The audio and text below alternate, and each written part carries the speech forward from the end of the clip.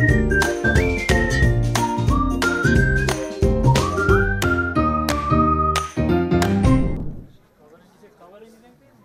arkadaşlar.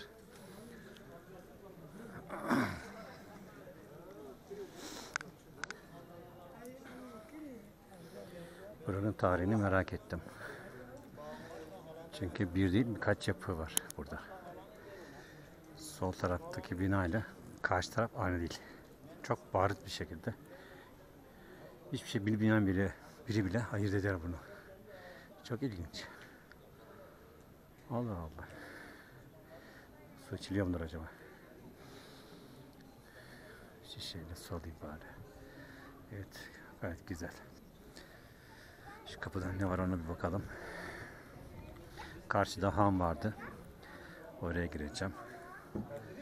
Şu ayakkabımı bağlayayım bari. Bu arada biraz reklam yapayım. Şöyle göstereyim. YDS'den bot aldım. Gore-Tex 700 kağıt. Yazında bu giyilir mi diyeceksiniz ama emniyet her şeyden önce gider. Arkadaşlar. Yolda yolda sorun yok. Tabi şehir gezmelerinde sıkıntı. Önce güvenlik. Ama e, çorabı ince giyiyorum. Yazlık file gibi file demişim. Benze- Benzetme biraz kötü olabilir. Kadın çorabı gibi incecik. Rahatsız etmiyor, çabuk kuruyor, terletmiyor, hava alıyor. Tavsiye ederim. Evet. Çarşı var burada. Burada kedi var. Diyarbakır kedisi. Pıs pıs pıs. Lan.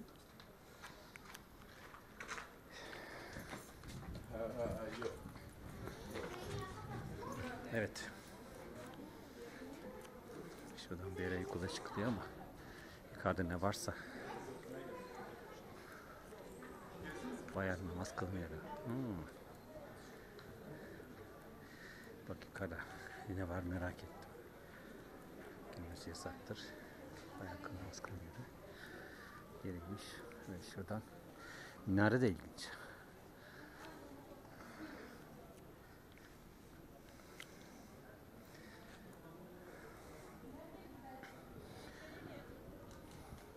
Girişte baktım buranın tarihi, tarihini anlatan yazı yok.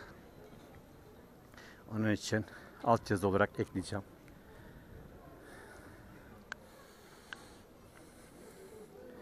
Şöyle biraz daha gezdireyim size.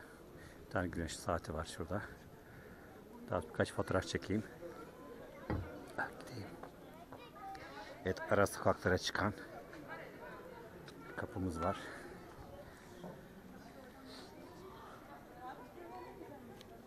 Evet güneş saati. Saatin kaç olduğunu nasıl okunuyor artık. Kalıp sanki. Orijinal değil gibi görünüyor. Ne bileyim.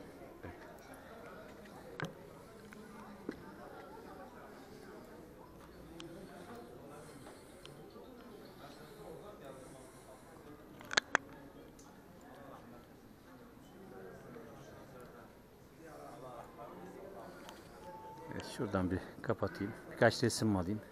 Çıkışta karşıda ham var. Oraya gireceğiz. Hep beraber. Şöyle. Görüşmek üzere arkadaşlar. Tekrar merhaba arkadaşlar. Girişte varmış. Dikkatimi çekmemiş. Sadece şu kısmını okuyalım. Çünkü yazı uzun. Geniş bilgiyi internetten edinebilirsiniz.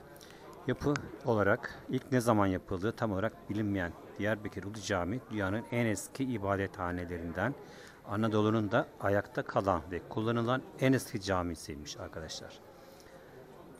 Zaten göstermiştim. Yapı taşları çok farklı birbirlerinden.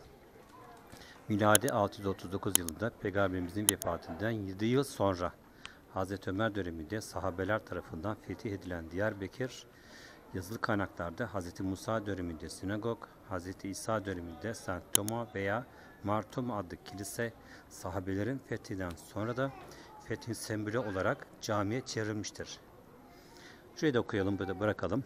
Bu yapı takriben 3400 yıldır hem ibadethane olarak görevini devam ettirmektedir diyor arkadaşlar.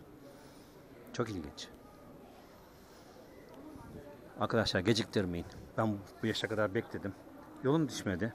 Ne yalan söyleyeyim. İyi ki de düştü şimdi. Hamdolsun. Bugünleri gösteren Rabbimize. Evet. Zaten farklı bakın arkadaşlar orada. Şu karşı, karşı duvar farklı. Arkada yapı var o farklı.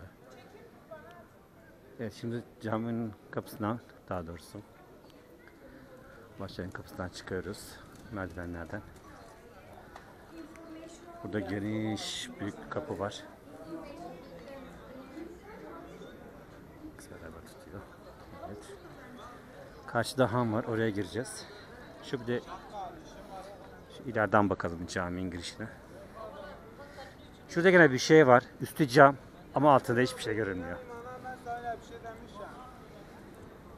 Şöyle hemen dönelim.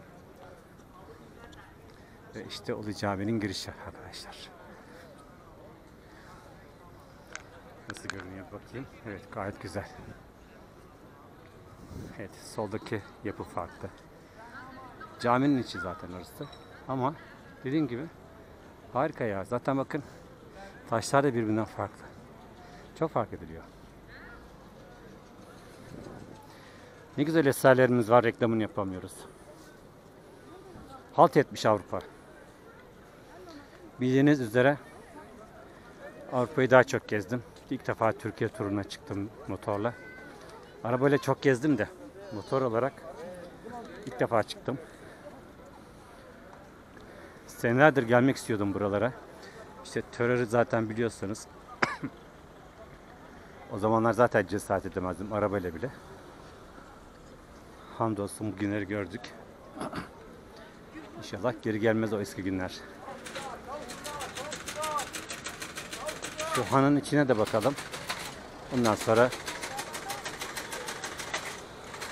Evsel bahçeleri varmış ama nerededir, nasıl bir şeydir hiç bilmiyorum. Hasanpaşa Hanı'ymış burası.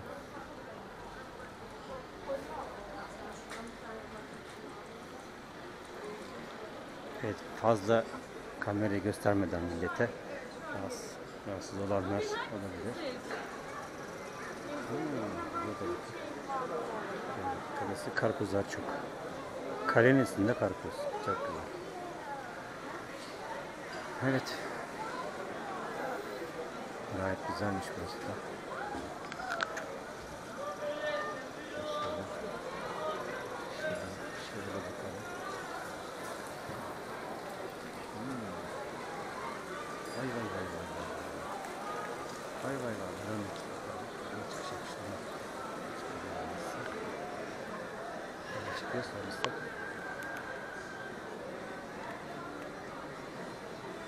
Burası daha çok kahvaltı evi diyor arkadaşlar. Hadi bakalım burada ne varmış.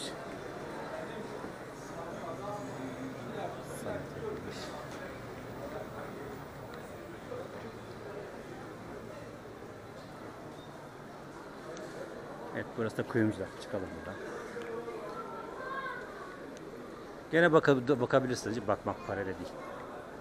Bedava. Evet arkadaşlar bu kadar yeter herhalde. Gelirken çarşıda açtım mı hatırlayamadım. Zaten şu caddenin sonunda motor. Polis noktasında. Şurada ne var acaba ileride? Kale değer bir şey. Görünmüyor ama haritadan bakarım gene. Sonra dibinde dibimizde olup da görmediğimiz bir şey kalmasın.